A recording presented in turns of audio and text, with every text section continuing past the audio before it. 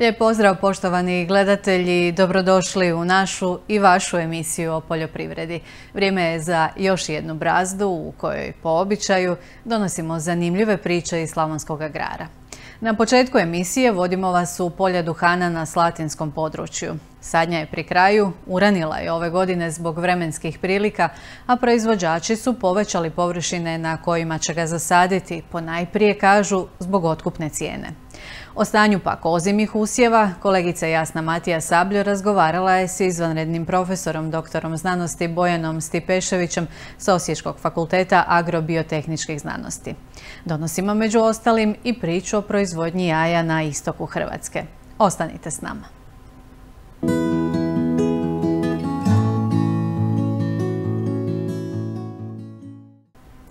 Ranije nego priješnjih godina započela je sadnja duhana. Tome su najviše pridonijeli vremenski uvjeti, ali i rasad koji je već sada u dobroj kondiciji. Dosadašnjim kooperantima Slatinskog agroduhana pridružilo se 11 novih, a za razliku od prošle godine u toj tvrtki bilježe rast proizvodnje za nešto više od 30%. Ukupno su ove godine ugovorili 637 hektara, a ono što je još poraslo je i otkupna cijena koja će također biti veća nego lani.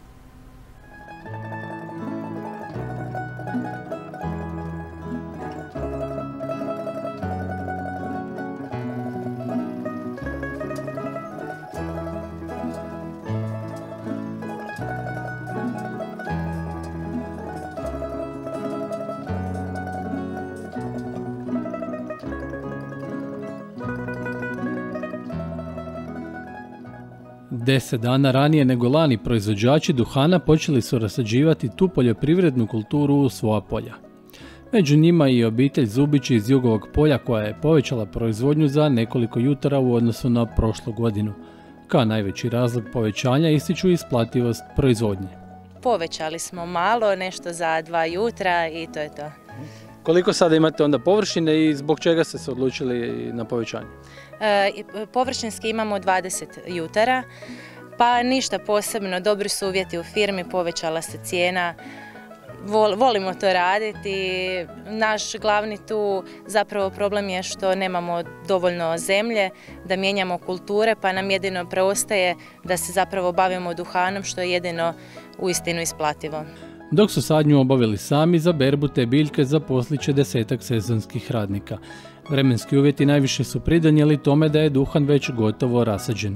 Prošle godine smo dosta kasno, negdje sredinom petog mjeseca tek završili sa sadnjom. Ove godine ćemo početkom već biti gotovi. Posadi duhan, istretirati sa herbicidom i 15, 15 dana sačekati da se duhan ukorijeni. Nakon toga treba raditi e, prorahljivanje tla odnosno mjeru kultiviranja tla i prvu prihranu. Znači 15 do 20 dana nakon rasađivanja, to je prva mjera što trebaju napraviti. U Slatinskom agroduhanu, jednom od dva organizatora proizvodnje duhana u Virovitičko-Podravskoj županiji, ove godine imaju razloga za zadovoljstvo. U odnosu na prošlu godinu znatno su povećali i ugovorene površine.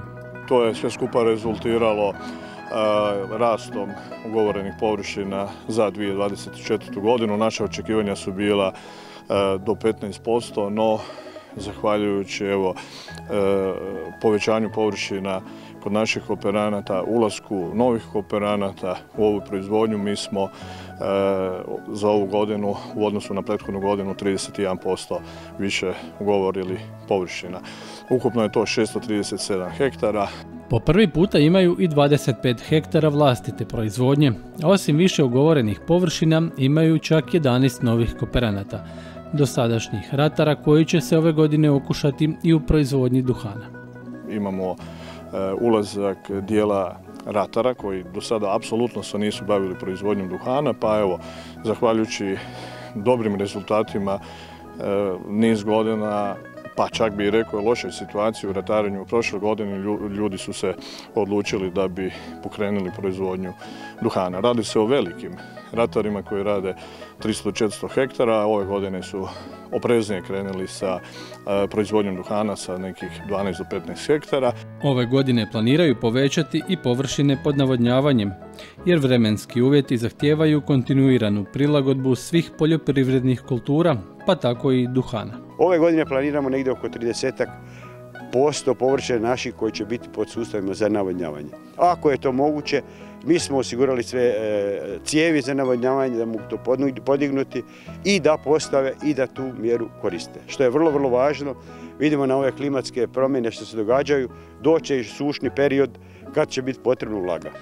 Razlog za optimizam mnogi vide u stabilizaciji cijene energenata te povećanju otkupne cijene, što bi u konačnici, kada za nekoliko mjeseci završi berba i otkup, trebalo rezultirati i boljim financijskim rezultatima. Očekujem da će biti mnogo bolja nego prošla. Zapravo i prošlu smo očekivali da će biti dovoljno dobra, ali zbog e, vremenskih nepogoda koje su nas e, obilježile tu na našem području, e, dosta je bio smanjen prinos duhana. Evo ja se nadam da ove godine će nas to sa srećom nekom zaobić i da će godina proteć puno bolje nego lanjska. Ugovorena cijena duhana je za ovu godinu porasla, očekuje se rast, odnosno porasla je za 13%. E, s druge strane, energenti e, očekuje se pad troškova energenata za nekih 40%, tako da bi zaista kooperanti sve upućeni mogli biti još zadovoljniji nego u prethodnim godinama. Nastavili smo i poslovnu suradnju sa tvrtkom iz inozemstva za koju već e, od 2017. godine radimo uslužnu obradu. Taj, taj poslovna suradnja je nastavljena završili smo e, početkom četvrtog mjeseca završili smo ciklus obrade i idući ciklus obrade očekujemo ponovno na jesen za njih. Tvrtka Agroduhan tu nestaje s optimističnim najavama za budućnost. Prošle godine postali su privatna tvrtka, a upravo novi vlasnik planira i nova ulaganja. Nabavljena je nova mehanizacija, tvrtka planira postati energetski neovisna postavljanjem solarnih panela, a u perspektivi planiraju i finalizaciju proizvoda. Sve to daje nadu i njihovim kooperantima da će duhan i dalje biti kultura koja će se obrađivati na podravskim i slavonskim poljima.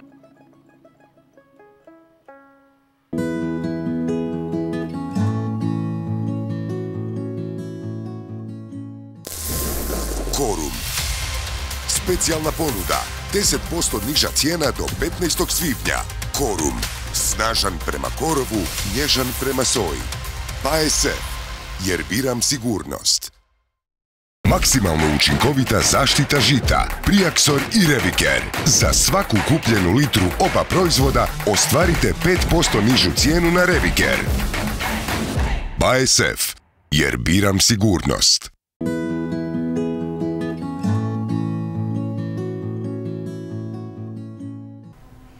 Nije rijetkost čuti ako je godina pšenična, nije kukuruzna. Kakva će biti ove godine, ostaje tek za vidjeti, jer dok se za tek posijani kukuruz zazivala kiša, pšenici u kombinaciji s visokim temperaturama nije odgovarala kako ne bi došlo do kuhanja. Gledajući njive pšenica izgleda šaroliko što je posljedica sjetvenih rokova. U dobroj kondiciji ističu stručnjaci i napominju da su idući tjedni ključni. Pšenica je u dobroj kondiciji, ali kad je ovako gledamo po poljima šarolikog je izgleda očekivano zbog sjeteve.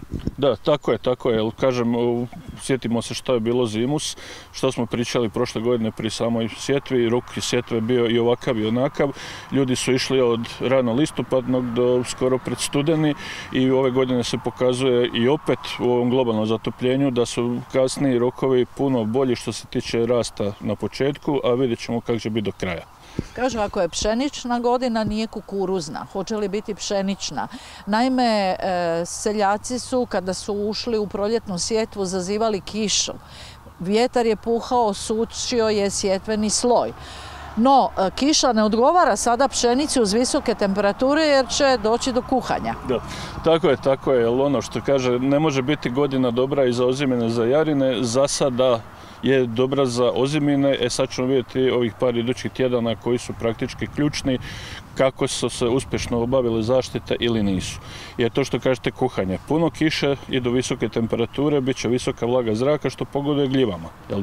Dakle, ko je krenio zaštitu na vrijeme i možemo reći čak da ovo hladnije vrijeme i pogoduje boljoj zaštiti jer će duže trajati aktivna tvar u samoj biljci i gljiva isto ima usporeni rast, tako da će napad biti malo sporiji nego inače, ali kažem još jedan put, donji listovi više nam nisu toliko bitni, ovo je što se kaže zabaciti, bitni su nam gornji dijelovi, jel da, zastavićari i ti gornji listovi koje sad treba održati u top formi, dakle paziti na to, ići u zaštitu po potrebi možda i drugi put i vidjeti da li se može pšenici i ječmu pomoći ako su još u tim fazama da prime ono neku folijarnu prihranu sad idućih dana.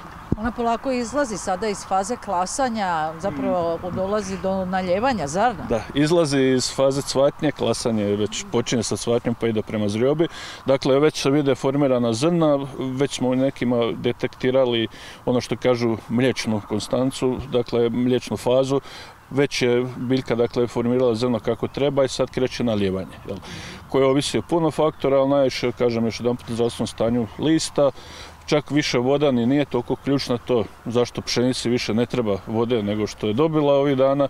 Kukuruzima i drugim jarinama bi i tekako dobro došlo i višak vode, ali u svakom slučaju uz dobru pravovremenu zaštitu ljudi se ne moraju brinuti ovakve, što bi rekli, šamaranja toplo-hladnog vremena nisu toliko jako utjecala na ozimine kao što smo se bojali na početku godine. No, međutim, vjetar je učinio svoje. Svakodnevno svjedočimo da on puše, različitim intenzitetom, ali evo i ovdje na ovoj jednoj parceli vidimo da je polegla pšenica. Da, da. Pa to je baš sad jedan od tih dijelova priče o globalnom zatopljenju. Imamo više vode u atmosferi koja daje više energije gdje se ta energija jednostavno pretvara u jače razlike tlakova i jače vjetrove.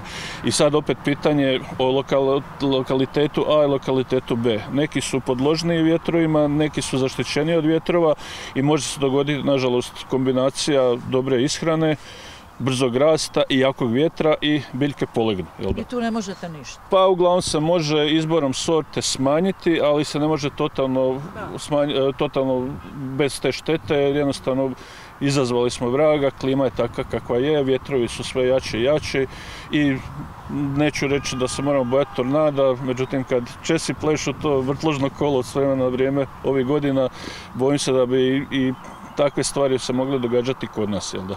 E, profesore, nikad ranije nećemo u žetvu. Naravno, e, prvo će se skidati ječam, pa onda pšenica. Neki poljodjelci su mi rekli, pa čak možda i tri tjedna, možda čak i u petu, sad u svibnju se krene. Da, da, tako je. Srpanjka bi trebala postati lipanjka, jel da? A u svakom slučaju dočekat ćemo neke žetve koje će biti, naročito ozimog ječma, koje će biti prije početka šestog mjeseca, što i nije toliko loš, jel da? Brže roba dolazi na stol, brže se može početi prodavati, jel? Naravno, e, opet kažem, ovisi od slučaja do slučaja da će i kako će to završiti, jer e, za sada je to puno bolji scenarij nego da se dočeka još malo kasnije vegetacije pa da se uleti vrući srpanj. Jel da? Za kraj razgovora, kratka poruka. Ako niste, provjerite stanje svojih usjeva. Ako stignete, prskajte protiv boleština i vidite malo stanje usjeva. Još nije kasno možda uz te fungicide dodati ponešto malo vitamina, dakle razno razne folijarne pripravke i na taj način pomoći pšenici i ječmu da što ranije dođe na stol i što lakše prebrodi ovo buduće kuhanje koje će nam se događati. Hvala vam lijepo. Molim.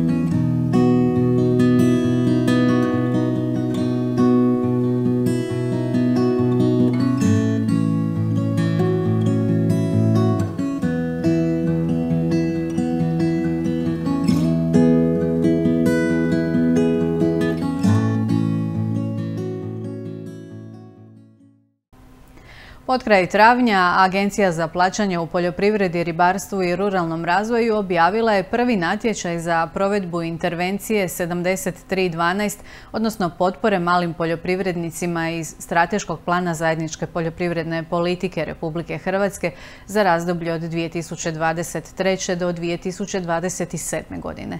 Ukupno je osigurano 15 milijuna eura, a rok za podnošenje zahtjeva je od 1. do 31. srpnja.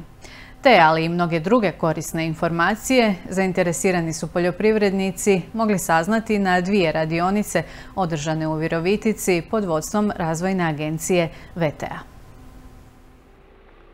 Dobra vijest za nositelje malih poljoprivrednih gospodarstava. Poljoprivrednici mogu računati na još jedan financijski oslonac u vidu novčanih potpora iz strateškog plana zajedničke poljoprivredne politike Republike Hrvatske od 2023. do 2027. Na natječaj koji je objavila Agencija za plaćanja u poljoprivredi, ribarstvu i ruralnom razvoju namjerava se prijaviti i mladi 26-godišnji poljoprivrednik Luka Kereš iz Lozana bavim se proizvodnjom kamilice, kukuruza, suncokreta i ječma, tako žitarica malo i to je to. Zašto si danas došao na ovu radionicu? Pa prvo da vidim kakvi su uvjeti za natječaj, a i da se prijavimo ako su prihvatljivi, ali ovi jesu prihvatljivi, dobri, pa onda o uvjetima prihvatljivosti korisnika intervencije 7312, prihvatljivim troškovima, načelima kriterija odabira, ali i visini potpore, zainteresirani su poljoprivrednici mogli čuti na održanim radionicama u Virovitici. Razvojna agencija VTA danas je napravila prezentaciju za sve potencijalne prijavitelje koji se žele prijaviti na intervenciju 7312 e, koja je više manje istovjetna kao stara intervencija 63. A radionica je, kako se moglo čuti, za sve potencijalne prijavitelje bila od velike koristi. Jako mi je korisna bila, zašto mi je e, malo da se obnavim, malo sam starija gospođa i hoću si obnoviti stroj koji novi, možda i traktor. Ove radionice su, dobre su, znači zadovoljan sam, bio sam već na dvije, tako, tri posjetiti. To bi znači savršimo mehanizaciju i do maksimuma. Jer uvjeti za kupnju mehanizacije traktora je i ovo je što kaže do... Biće faliće još što kaže, morat će dodati. Najniža visina javne potpore po projektu iznosi 5000 eura, a najviša visina je 30.000 eura. Intenzitet javne potpore je 85% ukupnih prihvatljivih troškova projekta, a prihvatljivi korisnici su fizičke i pravne osobe, izuzev zadruga upisane u upisnik poljoprivrednika. Jedan od glavnih uvjeta je, eto, znači, pošto i sam naziv kaže same mjere za malo poljoprivredna gospodarstva je, e, znači, ekonomska veličina e, od 3 do 10 tisuća eura treba biti e, u sektoru proizvodnje prerade voća, povrća i cvijeća, a do 15 tisuća eura u ostalim sektorima. Planiram u budućnosti širiti gospodarstvo, pogotovo ako prođem znači, na natječaju i dalje možda se prebacivati više na proizvodnju povrća i širiti se na plasteničku možda proizvodnju ili proizvodnju na otvorenom s navodnjavanjem i tu nam je Đolta u dosta povoljna e, sa tom proizvodnjom. Bunari se ovi kopaju i tako da to, to je prihvatljivo. Na natječaj se Luka, ali i svi ostali zainteresirani poljoprivrednici mogu javiti tijekom cijelog srpnja.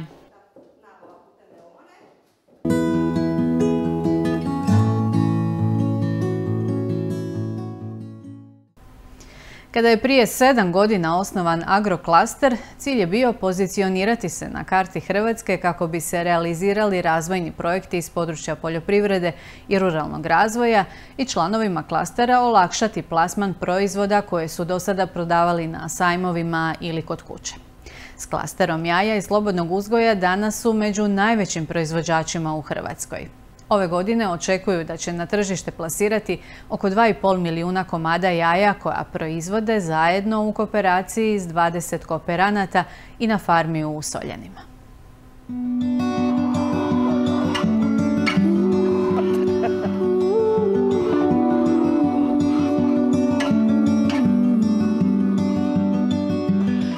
Među članicama klastera za proizvodnju jaja iz domaćeg uzgoja su i četvorica Sotinjana, Uskoro će im se pridružiti još jedan proizvođač. Ovdje ih je na jednom mjestu stacionirano najviše. Damir je zavrtio ovu danas izuzetno pozitivnu priču 2019. godine. Krenuo je s jatom od 350 kokoši. Pretprošle godine sam povećao za još 350, znači 700 i sada sam taman završio još jedan ovakav objekat, taj šator montažni ovaj, za još 600, znači za mjesec dana ćemo imati 1300 koka.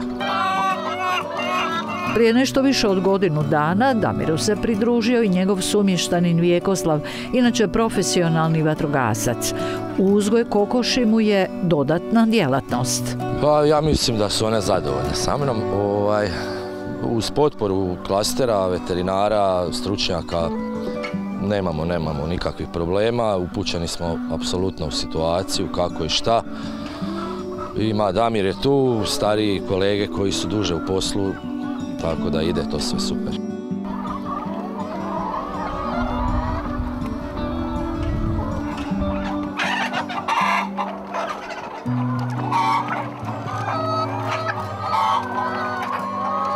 Najviše vas je ovdje u Sotinu, pet. Koliko to vama znači taj proizvođački prsten? Pa ja mislim da je to veliki dio toga jer e, prijevoz hrane, e, sveg ostalog, jel, kad veterinari dolaze, dolaze kod pet ljudi, ne moraju se vozati svugdje, svi smo na jednom mjestu. Svatko radi za sebe, ali su tu jedan za drugoga. Mali, kad zaškripi neko, nekom uvijek može uskočiti, pokupiti jaja, nahraniti, tako da dobra stvar. Znači puno jednostavnije znači i za transport e, jaja, znači i za obilazak, znači svi su ovdje blizu jedni drugima, znači naravno razmjenjuju međusobne iskustva, a naravno u našem pakirnom centru u Lovasu i Soljanima znači mi e, distribuiramo jaja, tamo ih kalibriramo i onda ih transportiramo prema kupcima. Damir, Vjekoslav i ostala dvojica Sotinjana pričaju nam da gotovo ništa ne rade, a da se međusobno i ne posavjetuju. Tako je bilo i kada su odlučili kupiti ove šatore gdje im obitava jato kokoši.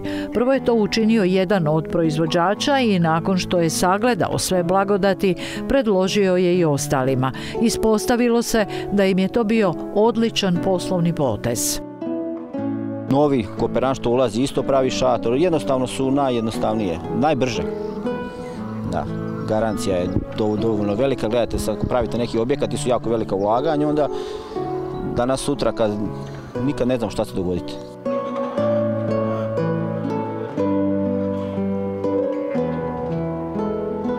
Da, šator je po meni najbolja opcija jer ne zahtjeva, ne zahtjeva dugi rok gradnje, papirologije i sveg ostalog.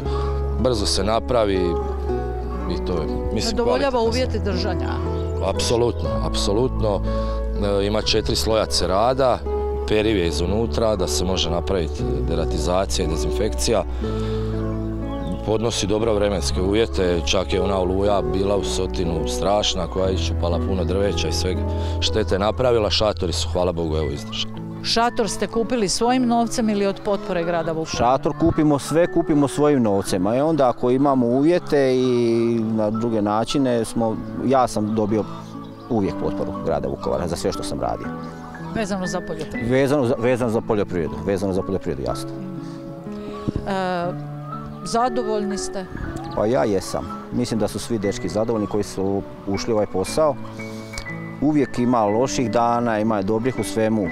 Svako bi mogao odustati od nečeg u jednom trenutku. Ali nije rješenje odustajati. Nekad, nekad treba... prve klase ili... Pa uvijek prve klase, pogotovo kad kupac dođe pa pita. Sve je posloženo, ističu dvojica proizvođača, jer u protivnom ne bi obojica proširivala proizvodnju i širila se. 600 plus 750, ovaj, ali ne planiram dalje. Znači tih 1300, 400, 1350, odnosno plan mi onda malo stati jer ovaj, možda kad djeca narastu, ako budu imali ambicija i vide se u ovome, da, ali evo za sada sigurno, sigurno ne ali recimo sad sa ovih 700-750 što sam imao je bilo mjesečno neki bruto prihod, to reću tako, oko 3000 eura bruto prihod, znači jaja, cijena jaja je varirala. Sad je, sad je na jednom visokom nivou recimo. što naravno donosi onu računicu koju priželjkuju svi koji se bave poljoprivrednom proizvodnjom. Znaš zašto radiš, dodali bismo. 750 koka je pojelo 1200 eura. I amortizacija koke, zuzu, ali bi bila jedna, jedna fina plaća. Fina plaća. Pa gledajte, bolesti nismo imali.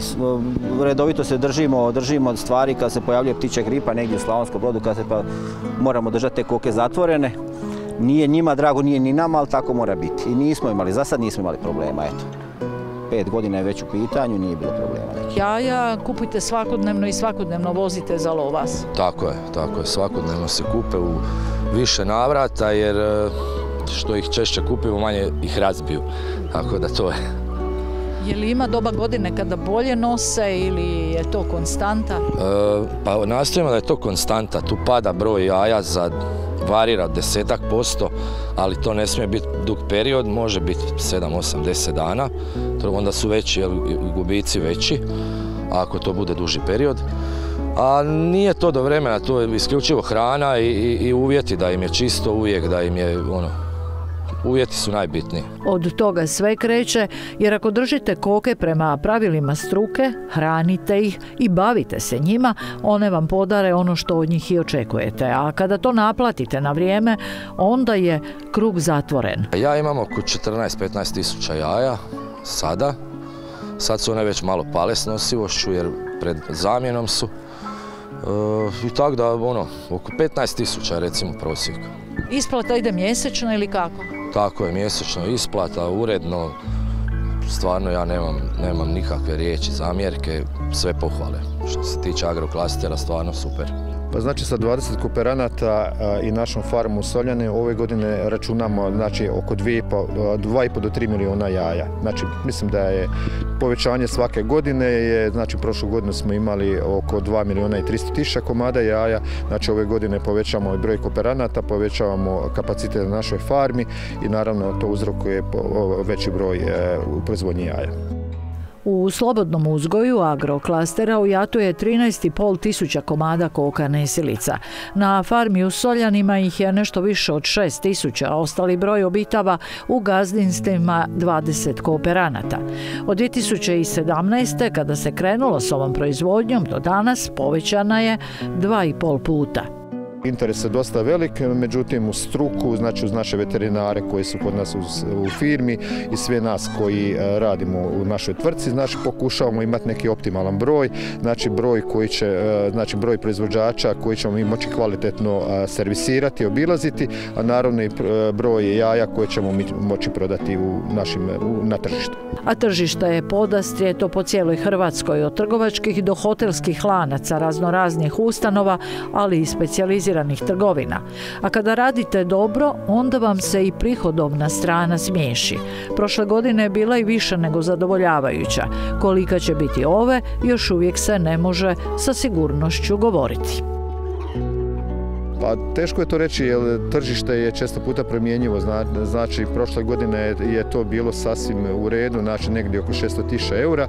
Ove godine ćemo vidjeti, ovisi, o tržištu i naravno o količini jaja. nadamo se ove godine neki 10-15% povećanje prihoda. Kada je prije sedam godina osnovan agroklaster, cilj je bio pozicionirati se na karti Hrvatske kako bi se realizirali razvojni projekti iz područja poljoprivrede i ruralnog razvoja i članovima klastera olakšao plasman proizvoda koje su do sada prodavali na sajmovima ili kod kuće. S klasterom jaja i slobodnog uzgoja agroklaster je među najvećim proizvođačima u Hrvatskoj i doista je postignuto mnogo, jer sve što se radi, radi se na način da se sve pomno isplanira, a tek nakon toga kreće u akciju. Dokaz su, između ostalog, dvojica sotinjana koja su proizvodnju proširila do maksimuma.